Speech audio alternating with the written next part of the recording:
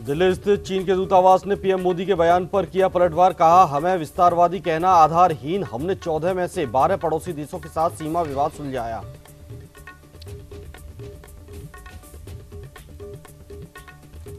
उत्तर प्रदेश के मुख्यमंत्री योगी आदित्यनाथ ने कानपुर मुठभेड़ में घायल हुए पुलिसकर्मियों से की मुलाकात। सीएम योगी ने किया आर्थिक मदद का ऐलान। मुठभेड़ में डिप्टी एएसपी समेत आठ पुलिसकर्मी हुए शहीद।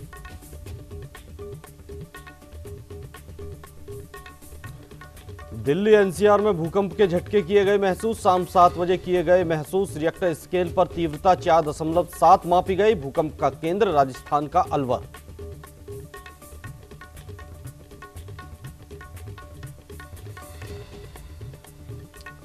पंद्रह अगस्त को लॉन्च हो सकती है कोरोना की पहली देसी वैक्सीन। सात जुलाई के बाद शुरू होगा ह्यूमन ट्रायल। भारत बायोटेक बना रहा है कोवैक्सीन।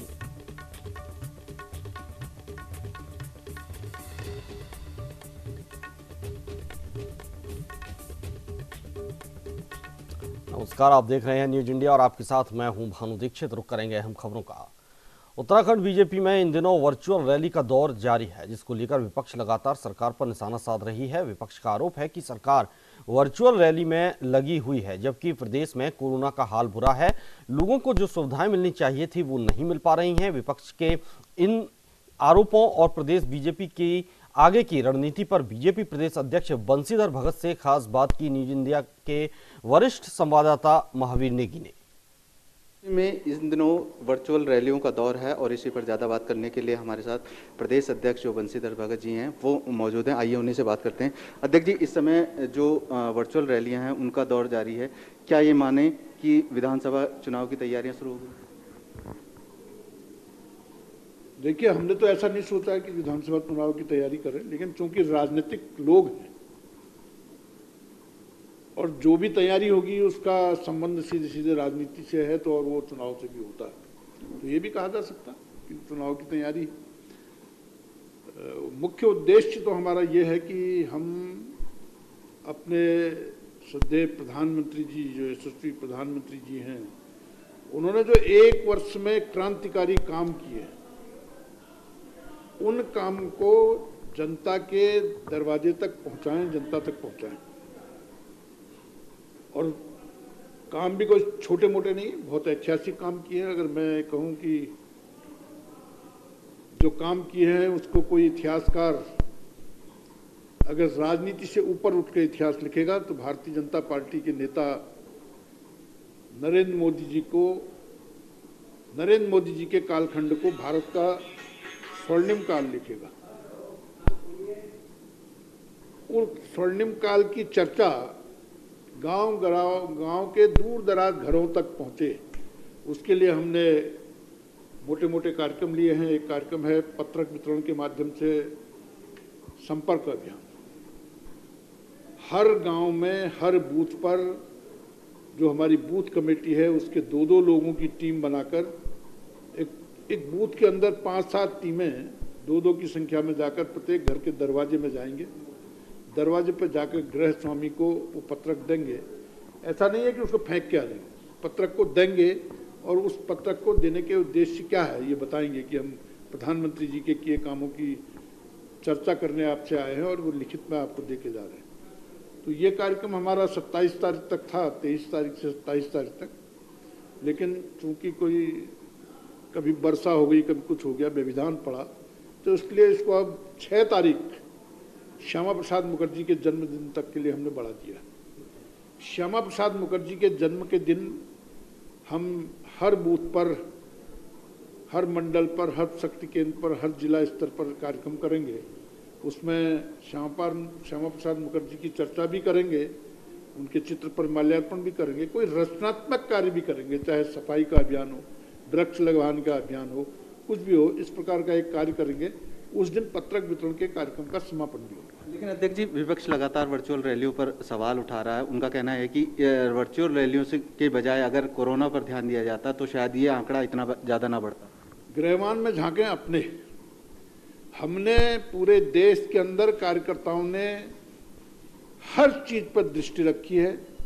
प्रवासियों को लाने के मामले में भी हमने पूरा पूरा का पूरा ध्यान देकर उनको फ्री ऑफ़ कॉस्ट हम लाए हैं। हमने कार्यकर्ताओं के माध्यम से भी राशन किट वितरित किए हैं, पका हुआ राशन भी बांटा है। यहाँ तक कि हमने ब्लड डोनेशन के भी कैंप लगाकर जो ब्लड की ज़रूरतमंद लोग हैं, उनको ब्लड देने का काम किया है। मास्क बांटे हैं स्टेनाइजर किट बांटे हैं। और सरकार की तरफ़ से भी फ्री राशन, और नरेंद्र मोदी जी ने तीन महीने तक पहले दिया था, पाँच महीने का और दे दिया, लगभग डेढ़ लाख करोड़। इतनी धनराशि की हमने गरीबों के लिए पूरे देश में अनाज की व्यवस्था की है। कांग्रेस के लोग हमें ये बता दें कि हमने एक काम किया है कोई कोरोना के मरीजों के सहयोग के लिए या प्रदेश में कोरोना से बचने के एहतियात के लिए कोई काम किया। बस वो लोग राजनीति करके जलूस, जल से पुतला फूकना इसके अलावा और कुछ नहीं कर रहे। लेकिन हमें इसका बुरा इसलिए नहीं लग रहा कि ये दस बीस सालों के लिए हमने इनको एक काम दे दिया। अब ये अस्तित्व की लड़ाई लड़ रहे हैं। इनके पार्टी के भीतर संघर्ष हो रहा। हरीश रावत जी अपने अस्तित्व की लड़ाई लड़ रहे हैं कि कैसे मैं अखबारों में दिखाई दूँ, कैसे मैं दिखाई दूँ ताकि केंद्र भी मेरी तरफ़ देखे, प्रदेश भी मेरी तरफ़ देखे। प्रीतम सिंह भी अपनी लड़ाई लड़ रहे हैं, इंदिरा गांधी हृदय जी भी अपनी लड़ाई लड़ रही तो इनके अस्तित्व की लड़ाई आपस में चल रही।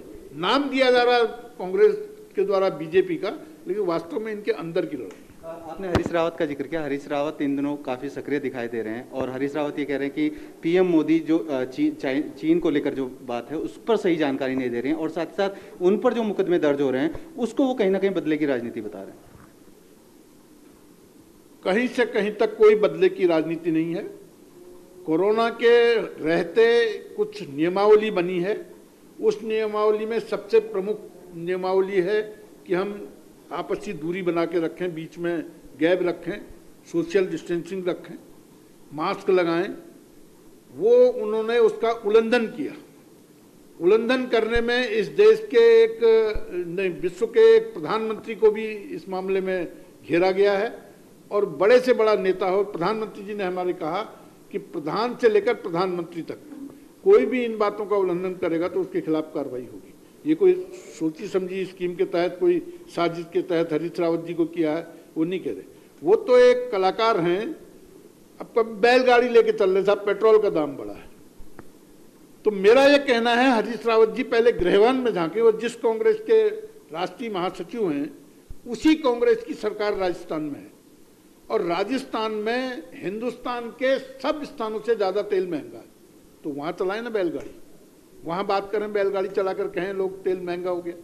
उत्तराखंड में बैलगाड़ी चला रहे पहले अपनी सरकार को देखो फिर दूसरे की सरकार पर बात करो। आखिरी सवाल आज आपकी सीएम साहब से मुलाकात होने वाली है। किन विषयों को लेकर किन चर्चा होने की संभावना है? सीएम साहब से मेरी औपचारिक मुलाकात है। कुछ लोगों के काम होते हैं उनकी चर्चा करनी होती है। कुछ पार्टी की रूपरेखा की बात करनी होती है। कोई सरकार के बारे में कुछ बताना होता है कि भाई ये हो रहा ये नहीं हो रहा ये यहाँ तक हो रहा वो तो औपचारिक अनौपचारिक बैठक है, कोई ऐसा कोई विशेष वो नहीं है। तो ये थे प्रदेश अध्यक्ष बंशीधर भगत जी, जिनका कहना साफ़ है कि विपक्ष भले ही कितना ही हल्ला मचा ले, लेकिन कहीं ना कहीं विपक्ष को ज़रूरत है अपने गिरबान में झांकने की। कैमरामैन सलमान कुरैशी के साथ महावीर नेगी, न्यूज़ इंडिया, देहरादून।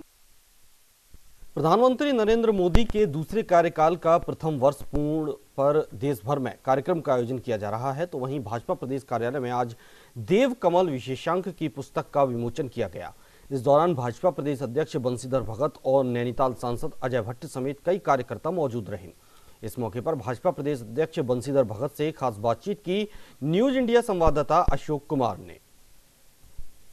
कार्यालय में देव कोमल विशेषांक विशेषांक पुस्तिका का विमोचन किया गया है। इस वक्त हमारे साथ, हम प्रदेश अध्यक्ष बंशीधर भगत जी मौजूद है। सीधे चलते हैं, उनसे बात करते हैं। सर, आज देव कमल विशेषांक विशेषांक पुस्तका का विमोचन किया गया है। क्या कुछ कहना चाहेंगे? देव कमल पुस्तक का विशेषांक का विमोचन किया, इसलिए गया है कि ये एक विशेषांक है।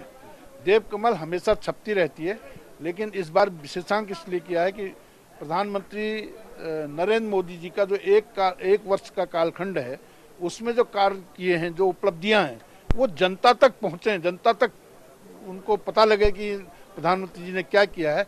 इसलिए उसको विशेष रूप से इसमें लाए हैं और कुछ मुख्यमंत्री जी के कामों को इसमें लाए हैं ताकि लोगों तक ये बात पहुँच सके। इसके अलावा अगर हम महँगाई की बात करें महँगाई को लेकर जैसे डीजल और पेट्रोल के दाम लगातार आसमान छू रहे हैं विपक्ष भी इसका लगातार विरोध कर रहा है। क्या कहना चाहो? देखिए महँगाई तो पूरे विश्व में बड़ी है, इसमें कोई दो राय नहीं। लेकिन केवल उत्तराखंड में बड़ी है या बीजेपी राज्यों में बड़ी है, ऐसा नहीं है। अगर इनको महँगाई की बात करनी है तो राजस्थान से भी जुड़े, कांग्रेस की जहाँ सरकारें हैं, वहाँ तेल पूरे हिंदुस्तान में सबसे ज़्यादा महँगा है। तो पहले ये उनको समझाएँ, तब उनसे बात करें तो समझ में आती बात। इसके अलावा एक ये प्रश्न ये भी है यहाँ पर जिस तरह से मतलब कांग्रेस का कहना है कि कांग्रेस अगर आज जनता की आवाज़ को उठा रही है तो भाजपा सरकार उन पर झूठे मुकदमे दर्ज करके उनकी आवाज़ को दबाना चाहती है। कोई एक झूठा मुकदमा दर्ज किया हो तो अदालत है उसमें जाएँ सरकार के खिलाफ वो बात करें।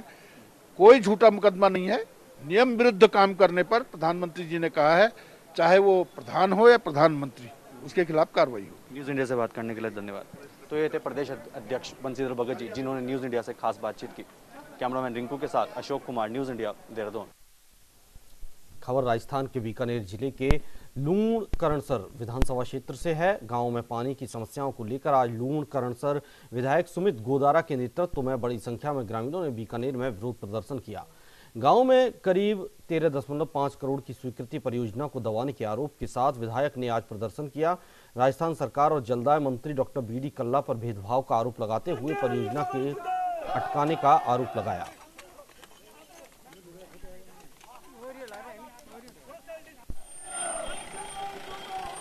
की समस्या है। और पिछले डेढ़ साल से साढ़े तेरह करोड़ के ट्यूबवेल सैंक्शन हुए पड़े पर मंत्री जी के द्वारा वर्क ऑर्डर जारी नहीं किए गए। बड़े दुख की बात है कि राजस्थान सरकार में ऊर्जा पेयजल विभाग के मंत्री बीकानेर ज़िले के और बीकानेर ग्रामीण में साढ़े तेरह करोड़ के लगभग सत्तर से अस्सी ट्यूबवेल है। जिनका कार्य सिर्फ़ मंत्री के द्वारा वर्क ऑर्डर जारी नहीं करने की वजह से लंबित है। गाँव गाँव में पानी की शिकायत है। मंत्री जी के आगे विधानसभा सत्र सत्रह मतलब 19 में जुलाई, अगस्त में मैं मिला। फिर अभी विधानसभा सत्र चला तो विधानसभा में बात रखी। 17 फरवरी को मंत्री ने कंटीजेंसी प्लान के तहत मीटिंग रखी। उसमें बात रखी। मुख्यमंत्री जी के आगे रखी। भाई धनी के आगे धनी कौन? सब जगह बात रखी। पर ये सोई सरकार है। ये पेयजल मंत्री है। खुद के ज़िले में काम नहीं कर रहे, किसान, आमजन त्राई त्राई कर रहे हैं। गाँव गाँव में पानी को लेकर पर डेढ़ साल में ट्यूबवेल की एक भी स्वीकृति इन्होंने जारी नहीं करी। अब ये हम जनता हाथ खड़े कर कर आज आई है और इतनी त्रस्त है कोरोना काल को देखते नहीं तो आप समा, सोच नहीं सकते गाँव में इतना पेयजल को रोष है कि इस गाँव में कल्ला जी आज तक गाँव में भी नहीं गए। इस बात का भी क्षेत्र में कभी उन्होंने पानी की सूद नहीं ली। कोटा के रामगंज मंडी सीएससी के अतिरिक्त चिकित्सा अधिकारी को एसीबी झालावाड़ की टीम ने 5000 की रिश्वत लेते हुए रंगे हाथों ट्रैप किया है तो वहीं मेडिकल रिपोर्ट बनाने के एवज में फरियादी से डॉक्टर राजेश कुमार बड़ीतिया ने दस हज़ार की रिश्वत मांगी थी। इसको लेकर फरियादी किशोर कुमार ने बताया कि मेरे पिताजी के गाँव में लड़ाई होने पर पैर काट दिया गया था। उन, उनकी सही मेडिकल रिपोर्ट बनाने के एवज में डॉक्टर ने दस हज़ार की रिश्वत मांग मांगी थी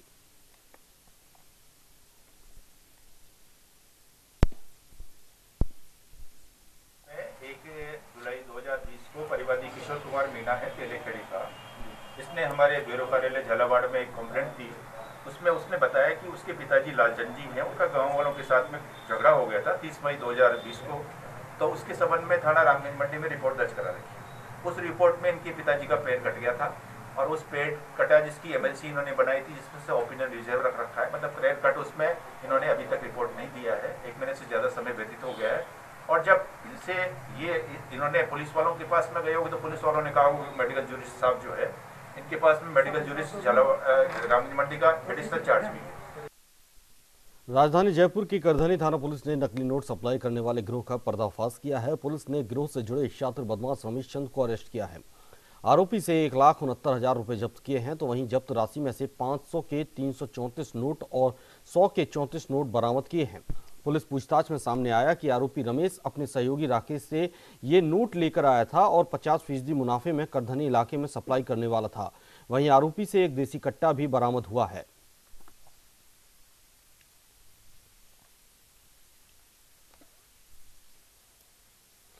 आरसीए जल्द की राज्य में क्रिकेट की गतिविधियों को शुरू करेगा। इसके लिए आरसीए तैयारियों में जुट गया है। आरसीए के नए कार्यालय में आयोजित कार्यकारिणी की बैठक में क्रिकेट से जुड़े विषयों पर चर्चा की गई। इस बैठक में नए क्रिकेट स्टेडियम के बारे में भी चर्चा हुई। इसके बाद मीडिया से बातचीत में आरसीए के अध्यक्ष वैभव गहलोत ने बताया कि बीसीसीआई और सरकार से स्वीकृति के बाद राज्य में घरेलू क्रिकेट शुरू की जाएगी। गहलोत ने बताया कि हालाँकि क्रिकेट कैंप पहले से चल रहे थे, लेकिन कोरोना की वजह से उसमें रुकावट आ गई थी। अब हम बीसीसीआई और राज्य सरकार की स्वीकृति का इंतज़ार कर रहे हैं। है, उसमें एक तो जो मेनली डिस्कशन हुआ है कि अभी वापस कोरोना की वजह से जो लॉकडाउन चल रहा था क्रिकेट एक्टिविटीज़ बंद हैं तो हम वेट कर रहे हैं कि बीसीसीआई और स्टेट गवर्नमेंट जल्द से जल्द परमिशन दे तो हम डोमेस्टिक क्रिकेट और कैंप्स को किस तरह से वापस चालू कर सकें। आरसीए के सोशल मीडिया अकाउंट को भी मज़बूत करने के लिए हम लोग नई वेबसाइट और उसको आगे कैसे बढ़ाएँ ताकि जो अपडेट्स अभी तक प्रॉपरली नहीं आ पा रहे उसको भी हम आगे बढ़ाना चाहते हैं, उसके लिए कुछ दूसरे स्टाफ को सपोर्ट स्टाफ को भी हम दूसरे मामलों में और लाना चाहते हैं।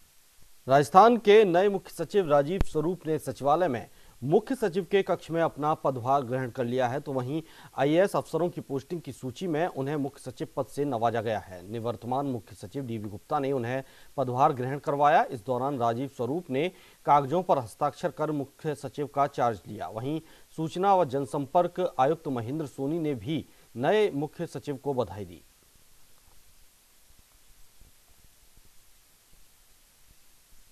कारण एक राज, देश के सामने और राज्य के सामने बहुत ही अभूतपूर्व गंभीर स्थिति उत्पन्न हुई, जिससे हम अभी भी निपट रहे हैं। दोनों एक तो मेडिकल आधार पे और जब से ये अनलॉक हुआ है और तीन महीने तक लगभग सारी एक्टिविटी जो थी, उनमें व्यवधान आ गया था तो अब सरकार की प्राथमिकता है कि इन राज्य को जल्द से जल्द पटरी पर वापस लाया जाए। स्थिति सामान्य की जाए और जो कोरोना का जो संकट है मेडिकल तौर पे भी उसको कंट्रोल में लाया जाए। राजस्थान के चित्तौड़गढ़ में हर साल शुरू होने वाले गुरु पूर्णिमा के अवसर पर होने वाले समस्त आयोजन कोरोना संक्रमण के चलते निरस्त कर दिए गए हैं और इस बार गुरु शिष्य परंपरा का निर्वहन अपने अपने घरों में बैठकर ही किया जाएगा। इसकी जानकारी देते हुए हजारेश्वर महादेव मंदिर के महंत चंद्र भारती जी महाराज ने बताया कि कोरोना संक्रमण के चलते इस बार गुरु पूर्णिमा के दिन होने वाले सभी कार्यक्रम रद्द किए गए हैं और इसी कारण अपने घरों से ही गुरु द्वारा दिए गए मंत्र का जाप करते हुए उन्हें याद करेंगे। इस साल जो कोविड 19 आने से जो गुरु जो है, गुरु पूर्णिमा है, वो सभी शिष्यों को इस पर घर में मनानी पड़ेगी। और वह घर में बैठ के ही भगवान का भजन करना पड़ेगा, अपनी माता पिता की सेवा करनी पड़ेगी और अपने जो है इष्ट हैं उनकी सेवा करनी पड़ेगी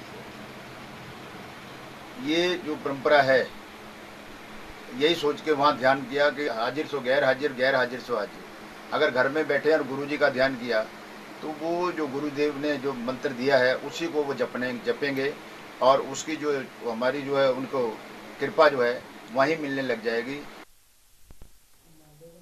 जयपुर के राजसमंद में लग्जरी कारों में महँगी शराब की तस्करी का पर्दाफाश करते हुए राजसमंद जिला स्पेशल टीम के साथ दिवेर और देवगढ़ पुलिस ने लाखों की शराब जब्त करते हुए एक आरोपी को गिरफ़्तार कर लिया। मुखबिर की सूचना पर पुलिस ने नाकाबंदी करते हुए एक सत्तर वर्षीय आरोपी पर सिकंजा कस लिया तो वहीं अन्य आरोपी मौके से फरार हो गए।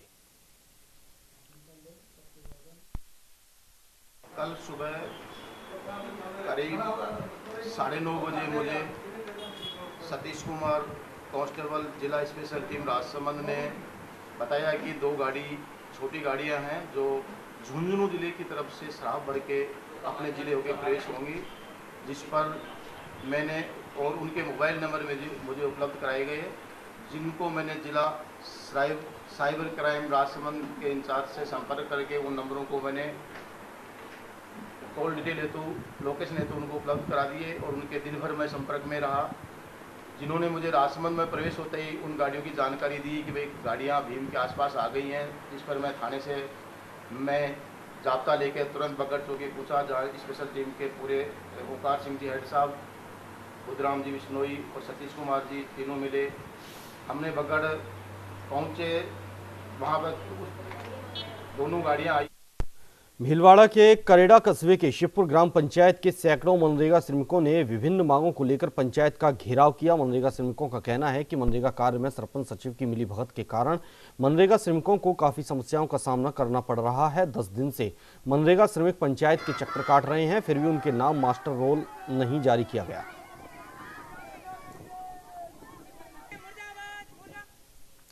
खबर राजस्थान के जैसलमेर के मोहनगढ़ से है, जहाँ उपनिवेश तहसील में बड़ी फर्जीवाड़ा सामने आया है। कई किसान के फर्जी तरीके से फोटोकॉपी करवाकर मुरबा अपने नाम करवा लिया है और कई किसान आठ से दस साल पहले मर चुके हैं। उनके नाम से मुरबे आवंटन हो गए हैं। पटवारियों ने नकलें देने से साफ़ मना कर दिया है। इसको लेकर किसानों ने जिला कलेक्टर के नाम ज्ञापन देकर तहसीलदार को ज्ञापन दिया। आप ज़मीन दी जेको 2015 से एसएससी में दाव हूंदो और उहो दाव ना जोई कोने और तहसील अलॉटमेंट कर दी। और मैं उसकी कॉपी मांग रहे थे वो मेरे को मिली नहीं। अभी हाय हुलड़ कर मेरे को लेनी पड़ी। और कितने सालों से आप बिजाई कर रहे थे? मैं तो आज 20 साल से बिजाई कर रहे हैं।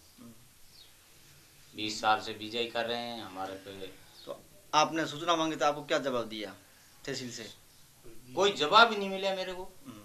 कोई जवाब नहीं तो मिला। आपको नागौर के डेगाना शहर की व्यस्ततम रोड पर रेलवे की ओर से दीवार बनाई जा रही है। दरअसल रेलवे विभाग द्वारा रेलवे के पुराने गेट के सामने दीवार बनाई जा रही जिसके कारण ठेके चालक के साथ ही चार पहिया वाहन की पूर्व पार्किंग भी नहीं हो पा रही है। इस समस्या को रखते हुए नगरपालिका ने मंडल रेल प्रबंधक जोधपुर को पत्र लिखकर रेलवे के पुराने गेट के सामने बन रही दीवार को रोकने के लिए पत्र लिखा है तो वहीं नगरपालिका अधिशासी अधिकारी सुनील चौधरी ने बताया कि शहर में रेलवे के पुराने गेट के सामने वाला रास्ता सबसे व्यस्तम रास्ता है और अगर दीवार बनती है तो यातायात पूरी तरह से प्रभावित होगा।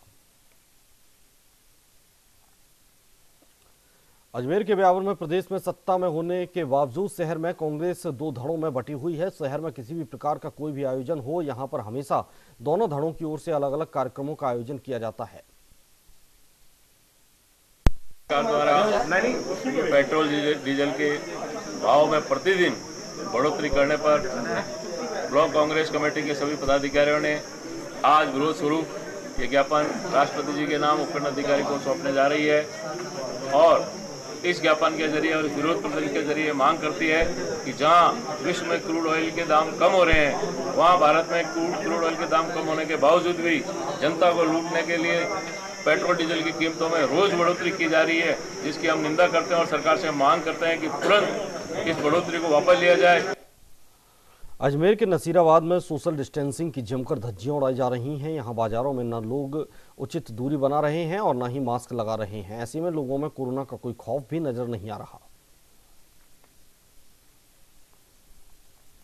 जैसलमेर के पोखरण शहर के रेलवे स्टेशन रोड स्थित नवनिर्मित अंबेडकर सर्किल पर भीमराव अंबेडकर की मूर्ति पालका प्रशासन द्वारा स्थापित की गई तो वहीं अष्ट धातु की प्रतिमा सर्किल पर प्रशासनिक अधिकारियों की उपस्थिति में स्थापित की गई।